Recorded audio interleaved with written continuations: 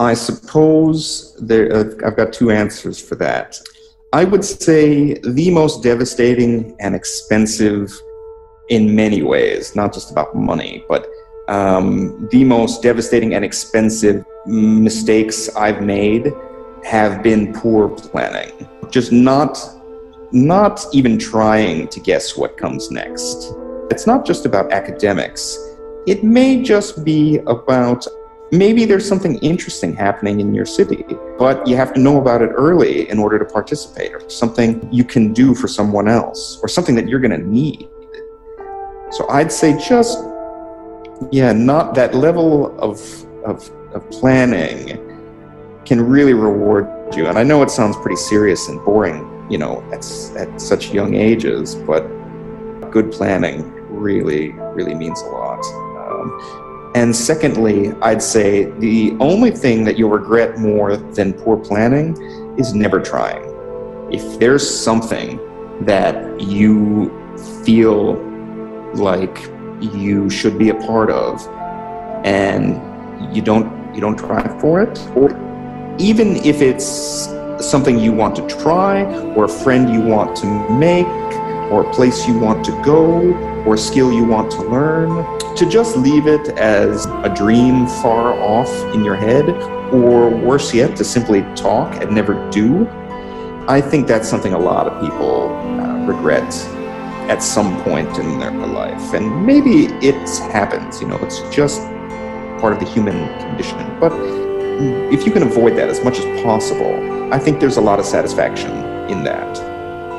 Perhaps to be humble is the greatest lesson from any any regret that you can experience. Just to realize that we are kind of all small in this universe and so we all have a lot to learn and we all have a lot to to improve and that's okay.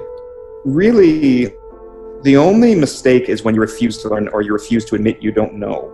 That's when things get really regrettable. Otherwise, there's no shame in needing to learn and needing to just there's no shame in learning to admit that we're all kind of small and imperfect and we need a lot of teaching in our lives.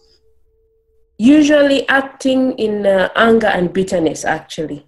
When you act in anger and uh, make decisions out of self-pity and out of anger you tend to regret a lot of that at a later point in time? Uh, what brings regret? I um, I really think uh, for me it was uh, being shy when I was younger.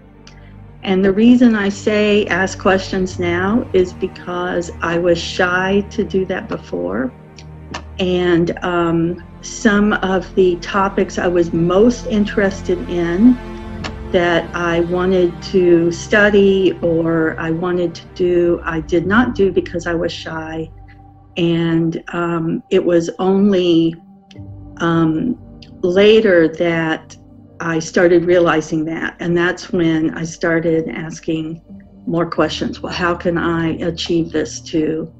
Um, if there's any real regret, uh, and this may sound, you know, um, frivolous, um, although I'm happy with the studies I'm doing now, which is in uh, education, teaching and learning theory, um, I really wish I had pursued a degree in Middle Eastern studies.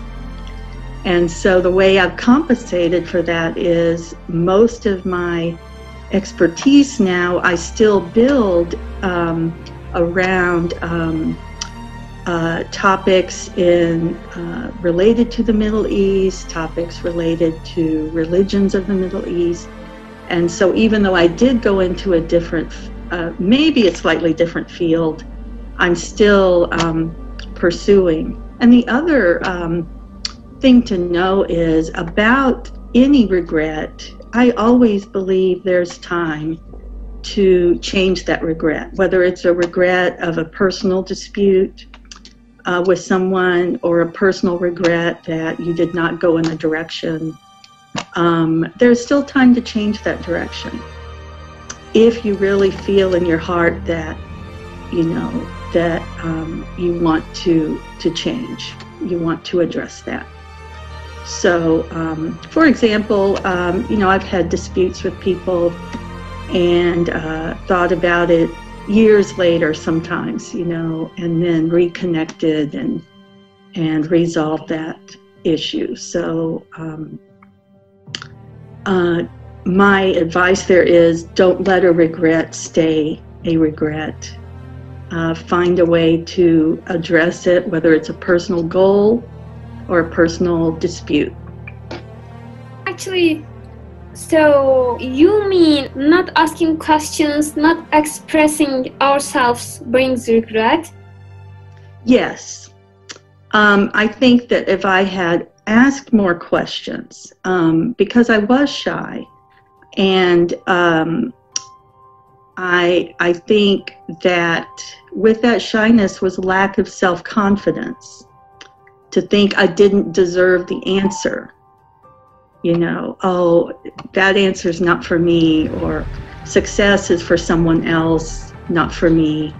And then only, you know, at some point, maturity um, takes over, and you realize, I realized, you know, if they can do it, I can do it and that's when I started asking more questions. Well, how did asking people how did they get to their point in life? Um, I read uh, books, biographies of, of people and their either their successes or their struggles. Um, um, again, just to that relates to what I've said earlier that sometimes looking at how someone else has resolved uh, problems in their life is a good way to also um, you know, find answers for yourself.